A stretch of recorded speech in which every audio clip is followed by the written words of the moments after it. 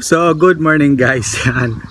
For today's video, um, wala lang, kwento ko lang kung bakit wala tayong aktibidad na naman ngayon sa kalungkutan.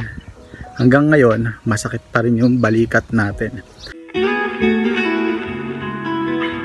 So sobrang sakit pa rin niya. Nagparehas ng balikat ko. Ewan ko parang naipitan nga ako ng litid.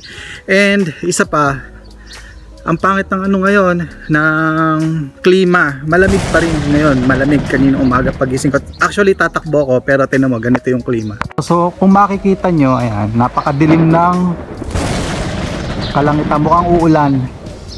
Hmm, mukhang uulan siya. Kaya hindi na ako nakapag jogging tapos malamig pa yung temperatura.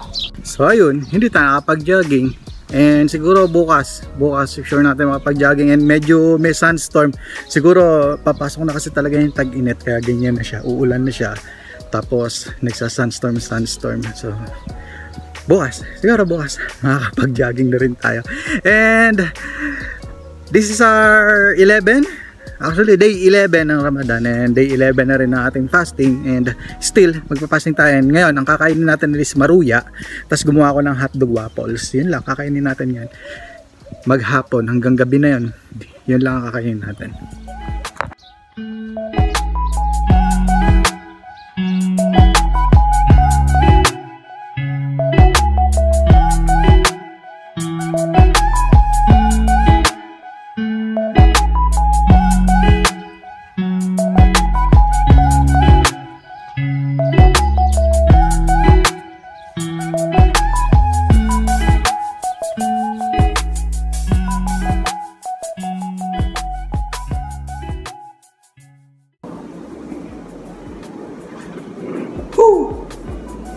So, ayun.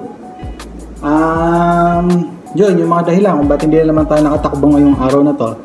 And actually guys, sobra, sobra sakit yung ganito natin. Ito.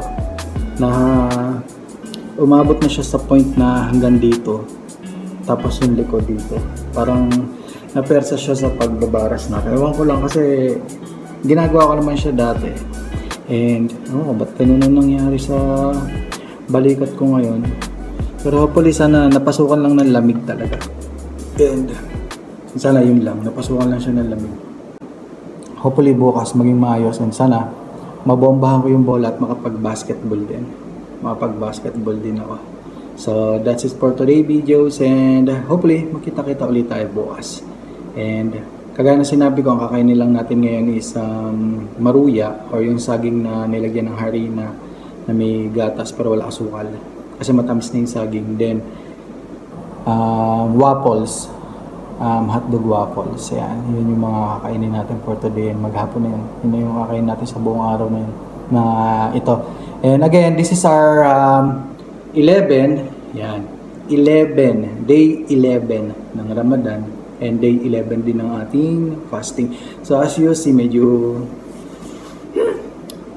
ang bagal. Mabagal pa yung progreso pero sana magdire-diretso siya. Okay guys, and um, stay happy, stay healthy, stay fit, and stay pogi. Yun lang. And sana makasama ko yun sa mga susunod pang videos. And don't forget to watch the first day until matapos tong ating ginagawang video. So yun lang. God bless and I love you all. God bless and I love